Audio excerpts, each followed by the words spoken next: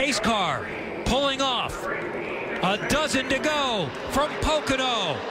17-year-old Harrison Burton.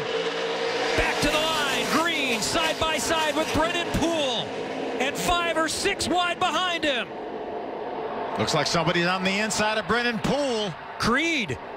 What a great restart by Creed. Look at Joe Graf on the inside, too. Brennan Poole's going to lose two spots. Maybe more. But Poole is trying to hang in. It's Burton and Creed for the lead. Graf got to third. Creed still hanging in on the bottom side. Harrison Burton on the top side, and his mom Kim watches on. Sheldon Creed is to the lead at Pocono. Teammates for MDM. What a great lap by Sheldon Creed.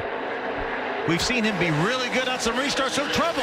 Will Rodgers is around. Caution is out. Number seven.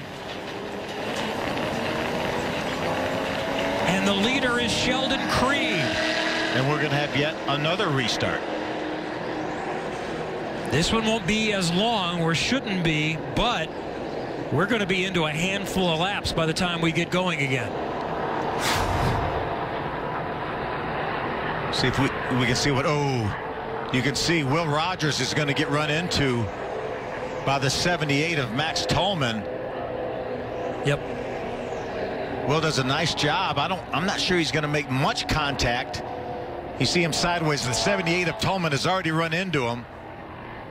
Almost saves it, just loses it on the second little swoop. See how these guys avoid him here. Nice job by the eight. Chase Purdy to get around him on the inside. Just barely. Christian Eckes, the 15 on the outside. Gregson was up ahead. He squeezed by. It's at least his second near miss. You see him way up the racetrack because he knew the 78 was crowding him. He gave him as much room as he could.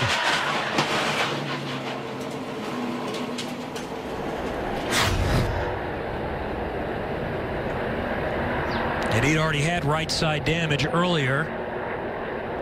So Will Rodgers back on pit road for Ken Schrader Racing in that Dryden Ford. I think they'll be able to make repairs and get this car back on the racetrack. He's still on the lead lap right now. We're being shown 18 cars on the lead lap. Pace car is coming off turn number three now.